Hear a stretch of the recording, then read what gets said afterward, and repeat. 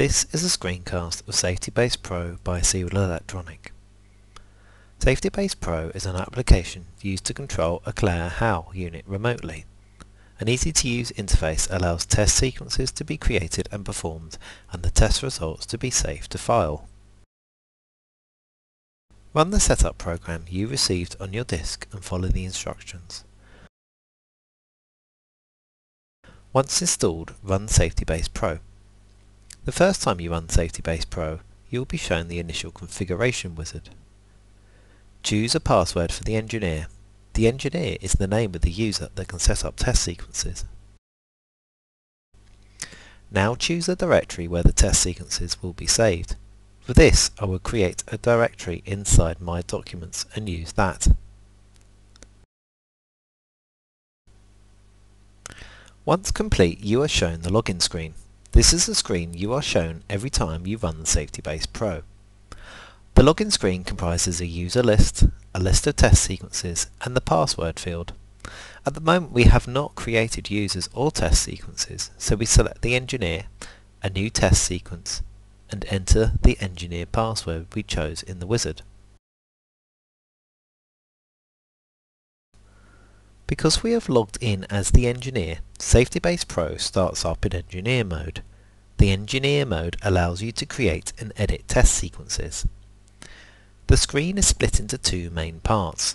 On the left is the list of tests in the test sequences, and on the right is shown the settings for a selected test. Let's go ahead and create some tests now. Click the green plus button in the toolbar or select Add Test from the menu. Now select the test to view the test settings on the right. We can choose the particular type of test from the drop-down box here. Let's choose an insulation resistance test. The settings specific to the insulation resistance test are shown underneath the general test settings. If we add another test, notice that the new test is added before the currently selected test. To append a test to the end of the test sequence, Deselect all tests first by clicking outside the list, and then add a test. Let's now select a valid test type for our new tests. We'll choose a HIPOT test and an earth bond test. Normally we would change the settings of the tests, but for now we will accept the default values. We haven't saved the test sequence yet, so let's do that now. Because this is a new test, we are prompted for a name, Notice that the directory we chose in the wizard is shown by default. We may save to any directory, but by choosing to save in this one, we make the test sequence available in the login screen.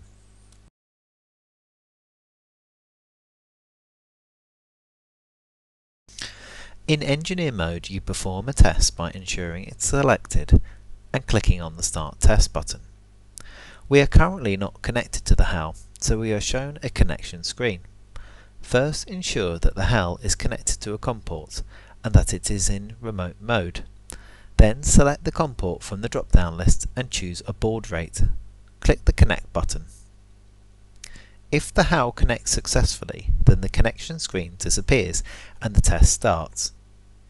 We have not selected any start conditions in the test settings, and because we have the guard switch down, the test starts immediately.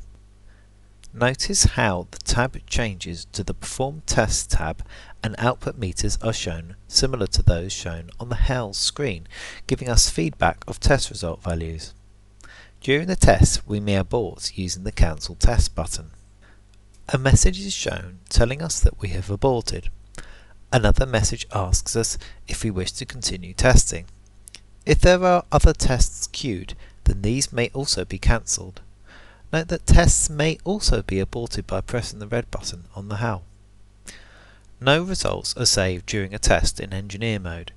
It serves just as a means of experimenting with test settings. Before we examine more advanced features of engineer mode, let's take a look at operator mode. To do so, first we must create an operator.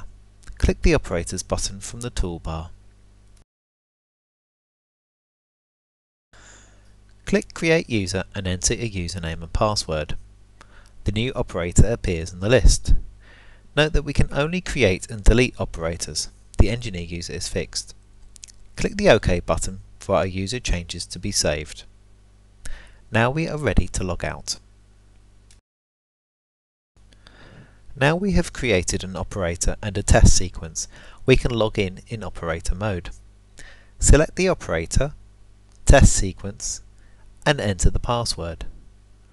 Operator mode is similar to engineer mode, except we have far fewer features.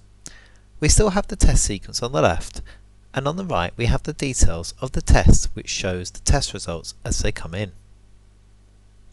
We have three main options, quit, log out, and test appliance.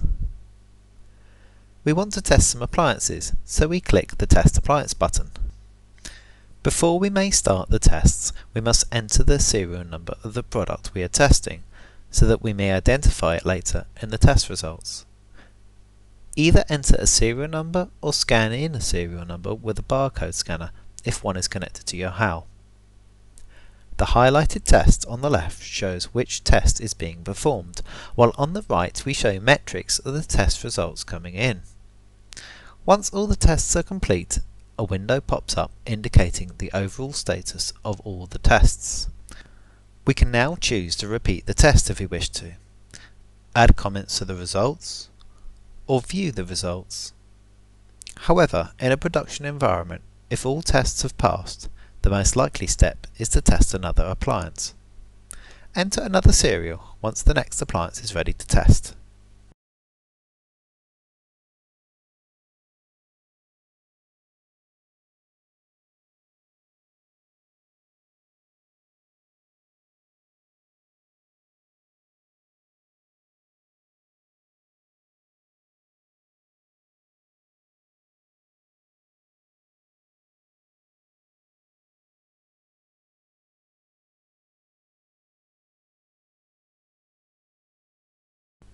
Let's add some comments this time. Comments may be added using the keyboard or a barcode scanner. Let's view the results now. Click the View Results button. Results are saved in XML file format.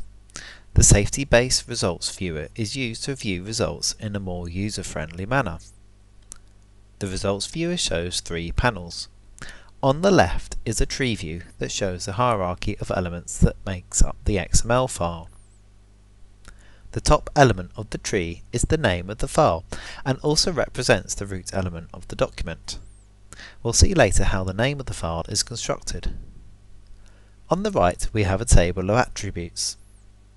At the moment the attributes associated with the root element are shown as that is what is highlighted in the tree. Changing the selected element in the tree shows the attributes associated with that element. For example, selecting the appliance element shows the attributes associated with that. Inline data is viewed in the bottom right panel. For example, the data in the comments element is shown in here. The test results are stored as test set elements. Each test set is made up of a test element and any number of test results. The test element contains all the settings for the test as specified in the engineer mode and saved in a test sequence. There may be zero or many test result elements in a test set. If there are no test results, then this indicates that a particular test was not performed at all. This will happen when all tests are cancelled. If tests are not cancelled, then there will be as many test results as specified in the test settings. We may open files by clicking on the Add Files or Add Folder buttons. Add Folder will add all XML files from that folder. Any files that are already added are not added again. Safety Base Results Viewer has a basic search facility. You can search by serial number, by date and time, and by test result status. For example, to search for a serial number, enter the serial number and click Find Next. Notice how the selection is moved to the appliance element. We may use an asterisk as a wildcard character if we wish.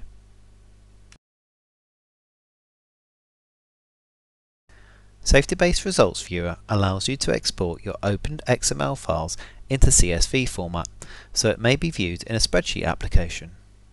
To export to CSV, either select the files you want to export or clear the selection completely to export all files.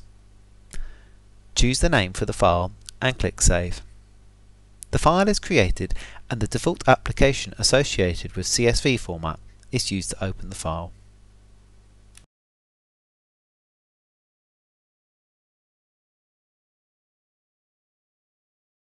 In this section, we explain how the file names and paths are created and how you can choose where your files are stored and how they are named.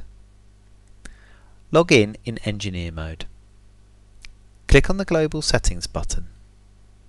This will show you the Global Settings window. This is where we can change the test sequences directory that we specified in the initial configuration wizard and the file path for results files. Remember that the test sequences directory exposes any test sequence files with the SEQ extension to users in the login screen.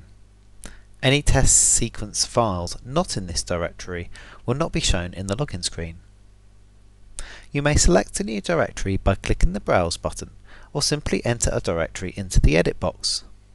So long as the directory is a valid format, then any directories will be created if they don't already exist. The results path uses markers that are replaced by values depending on the state of the application. This gives you the freedom to order results files in a directory structure of your choice with a name that makes sense in your organization. Markers are available for the test sequence name, the operator, date, time and test result. The markers may be used in any order in the path any number of times as either part of the file name or a directory name. Any directories that do not exist are created automatically. Custom messages can be set up to be displayed at key stages throughout a test. Messages consist of text, an image, or both. Let's create a custom message now by clicking the Add button. This is the form for configuring a message associated with a test. Message type indicates whether the message is shown in a pop-up box. We'll leave this unchecked for the moment. The condition drop-down determines when the message is shown. When there's no test, before or during a test, or after a test passes, fails or is aborted. Let's stick with the no test condition. This is where we enter the text of the message. The final section is where we can specify an image. We'll leave this empty for now, but come back to it later. Click OK to accept our changes. Our first message appears in the list. Now select the Perform Test tab to see our message. We can see our message below the test name. We set the message condition to No Test, and as that is our current condition, we see our message. If we start a test, the condition changes and the message disappears. Let's add some more messages with other conditions to see how they work. Go back to the Custom Messages tab. Add a message and this time set the condition to before test and add some text. Click OK and add another test for the during test condition. Also add one for the test passed condition.